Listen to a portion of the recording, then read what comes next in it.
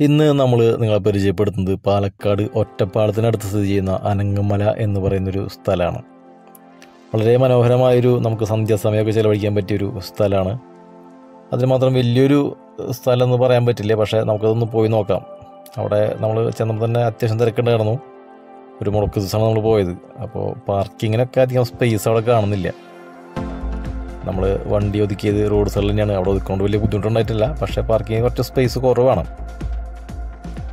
നമുക്കവിടെ സൈഡിലൊക്കെ ഇരിക്കാനുള്ള സ്പേസൊക്കെ ഇവിടെ മതിൽ പോലെയൊക്കെ കെട്ടി വെച്ചിട്ടുണ്ട്. അതുകൊണ്ട് കുഴപ്പമൊന്നുമില്ല. അവിടെ സമയം എഴുതിച്ചിട്ടുണ്ട് രാവിലെ ഒമ്പത് മുപ്പത് മുതൽ വൈകുന്നേരം ആറ് മണി വരെയാണ് സമയം എഴുതി വെച്ചിട്ടുള്ളത്. തിങ്കളാഴ്ച അവധിയാന്ന് വെച്ചിട്ടുണ്ട്. പിന്നെ കുട്ടികൾക്ക് പതിനഞ്ച് രൂപ അങ്ങനെ പല പല ചാർജുകളാണ് വാഹനങ്ങൾക്ക്. പ്രത്യേക ചാർജ് ഉണ്ട്.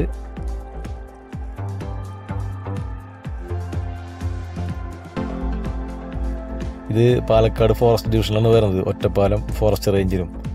അവിടെയാണ് ഈ ഒരു അനങ്ങമല സ്ഥിതി ചെയ്യുന്നത്. രണ്ട് ഭാഗങ്ങളായിട്ടാണ് റോഡിന്റെ റൈറ്റ് സൈഡിലും ലെഫ്റ്റ് സൈഡിലും ഉണ്ട് ഇതിന്റെ ഭാഗങ്ങൾ നമ്മൾ ആദ്യം ലെഫ്റ്റിലേക്കാണ് നമ്മൾ പോയത്. അപ്പോൾ അവിടെ കയറി ചെല്ലുമ്പോൾ തന്നെ ചെറിയൊരു കാടിന്റെ ഒരു പ്രദേശം തന്നെയാണ്. ഒരു ചെറിയൊരു ഇറക്കം അവിടെ ചെറിയൊരു വെള്ളച്ചാട്ടമാണെന്നാണ് പറഞ്ഞത്. അപ്പോൾ ഒരു നീർച്ചോല എന്നുള്ളൊരു സംഭവമൊക്കെ അവിടെ നമ്മൾക്ക് വരുമ്പോൾ തന്നെ കാണാൻ സാധിച്ചിരുന്നു. പക്ഷേ അവിടെ നമ്മൾ വെള്ളം ഉണ്ടായിരുന്നില്ല. ശരിക്കും പറഞ്ഞാൽ നമ്മൾ പോകുന്ന സമയത്തൊക്കെ നല്ല മഴക്കാല മഴക്കാലമാണ് ഓണത്തിന്റെ സമയമാണ് പക്ഷേ ഈ വർഷം മഴയുടെ ഒരു കുറവ് നന്നായിട്ട് എല്ലാ മേഖലയിലും വന്നിട്ടുണ്ട്. അപ്പോൾ അതിന്റെ ഒരു പ്രശ്നം നമുക്കവിടെ കാണാൻ സാധിച്ചു. നമ്മൾ കുറച്ച് മുകളിലേക്ക് കയറുമ്പോൾ തന്നെ അടിയിൽ അടിയിലത്തെ കാഴ്ചയൊക്കെ നല്ലൊരു മനോഹരമായ കാഴ്ചകളാണ്. വാഹനങ്ങളൊക്കെ എടുക്കുന്നതൊക്കെ അത്യാവശ്യം നല്ല രീതിക്ക് നമുക്ക് ഒരുപാട് ദൂരമായിട്ട് നമുക്ക് തോന്നുന്നുണ്ട്. ഇറങ്ങുന്ന ഭാഗങ്ങളൊക്കെ നല്ല കൈവരിയൊക്കെ കെട്ടി സംരക്ഷിച്ചിട്ടുണ്ട്. അതില്ലാന്നുണ്ടെങ്കിൽ എല്ലാവർക്കും ചിലപ്പോൾ ഇറങ്ങാൻ പറ്റിയെന്ന് വരില്ല. ചിലപ്പോൾ നമ്മൾ വിടാനുള്ള സാധ്യതയൊക്കെ ഉണ്ട്. ഇതൊക്കെ വെള്ളം വരുന്ന ഭാഗങ്ങളാണ് പക്ഷെ അവിടെ വെള്ളം വരുന്നില്ല. വെള്ളമൊക്കെ ഉണ്ടെങ്കിൽ നല്ല മനോഹരമായൊരു കാഴ്ചയായി മാറിയനെ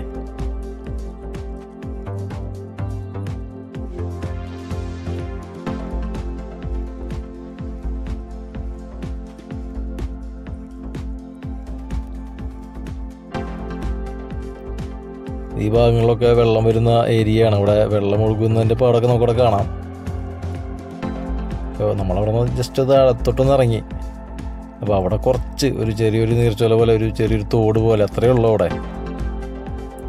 അപ്പോൾ അവിടുത്തെ സെക്യൂരിറ്റിയോട് ചോദിച്ചു പറഞ്ഞാൽ ഈ ഒരു സമയത്തൊക്കെ ഓണത്തിന്റെ സമയത്തൊക്കെ അത്യാവശ്യം നല്ല രീതിക്ക് വെള്ളച്ചാട്ടമൊക്കെ കാണാൻ പറ്റിയ പറ്റുമായിരുന്നു. പക്ഷേ ഇത്തവണ നമുക്കത് കാണാൻ പറ്റിയില്ല എന്നുള്ളതാണ് അവരും നമ്മോട് പറഞ്ഞത്.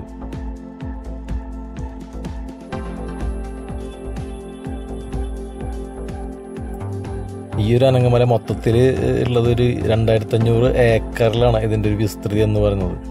ഏകദേശം ഒരു ആയിരത്തി ഇരുന്നൂറ് മീറ്റർ ഉയരവും ഇതിന് കണക്കാക്കുന്നുണ്ട്.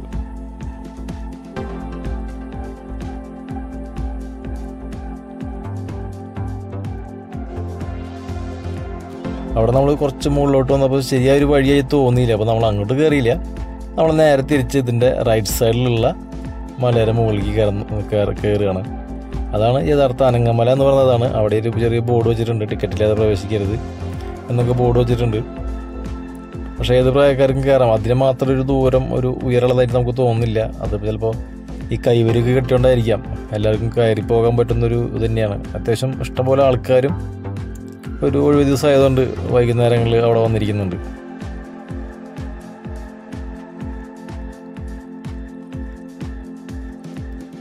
പുരാണത്തിൽ ഈ മലയ്ക്കൊരു ഐതിഹ്യമുണ്ട്.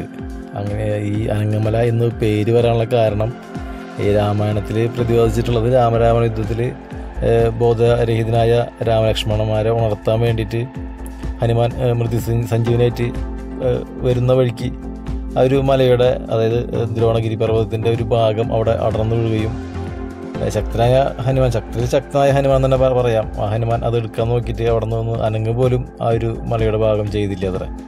അപ്പോൾ അതുകൊണ്ടാണ് ഈ ഇങ്ങനൊരു പേര് അനങ്ങമ്മല എന്ന് പേര് വന്നതെന്നാണ് അവിടെ ഒരു ബോർഡിൽ എഴുതി വെച്ചിട്ടുള്ളത്. പുരാണമായിട്ട് ബന്ധപ്പെടുത്തിയിട്ടുള്ളൊരു കഥയാണ്.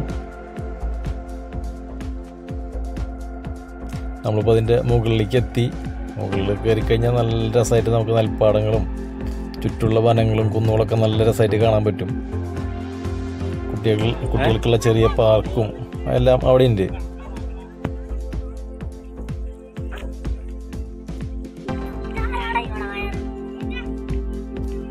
പാർക്ക് ചെറിയ കംപ്ലൈന്റും കാര്യങ്ങളൊക്കെ ഉണ്ട് അവിടെ ട്രക്കിംഗ് ഉണ്ട്. ട്രക്കിങ്ങിന്റെ പാസ്സുള്ളവർക്ക് മാത്രം നട്ട് എഴുതിച്ചിട്ടുണ്ട്. അത് ട്രക്കിങ്ങിന് മൂന്ന് മണിക്ക് മുമ്പ് വരാമെന്ന് പറഞ്ഞത് അപ്പോൾ ഇതിന്റെ മുകളിലേക്ക് കയറി പോയിട്ട് അത്യാവശ്യം നല്ല രീതിക്ക് നമുക്ക് നടക്കാം. നടക്കാനുള്ള ഇതാണ്. നടക്കണം എന്ന് പറഞ്ഞത് അപ്പോൾ മൂന്ന് മണിക്ക് മുമ്പ് വരണം. എന്ന് എങ്കിലേ പാസ് കിട്ടുള്ളൂ എന്ന് കൂടി പറഞ്ഞിരുന്നു. അപ്പോൾ ടോപ്പിൽ കയറി കഴിഞ്ഞാൽ നമുക്ക് ചെറിയൊരു നല്ലൊരു ആംബിയൻസ് അതായത് അത്യാവശ്യം നല്ല നൈ നൈസായിട്ട് തണവ് കാറ്റൊക്കെ നമുക്ക് കിട്ടുന്നുണ്ടായിരുന്നു. അത് നമ്മൾ പോയതൊരു വെയിലുള്ള ദിവസമായിരുന്നു. എങ്കിൽ കൂടി നമുക്ക് നല്ല തണവ് കാറ്റൊക്കെ കിട്ടിയിരുന്നു. അപ്പോൾ ശരിക്കും ഈ മഞ്ഞുകാലത്തൊക്കെ പോയി കഴിഞ്ഞാൽ നമുക്ക് നല്ലൊരു ഫീലിംഗ് ഇപ്പോൾ രാവിലെ കയറിയാലും അല്ലെങ്കിൽ വൈകുന്നേരം കയറിയാലും നല്ലൊരു ക്ലൈമറ്റ് നമുക്ക് അവിടെ കിട്ടും. ചെറിയൊരു കോടൊക്കെ കിട്ടുമെന്ന് മുമ്പ് പറഞ്ഞിരുന്നു. വേറെ പോയ നമ്മുടെ കൂട്ടുകാരൊക്കെ പറഞ്ഞിരുന്നു.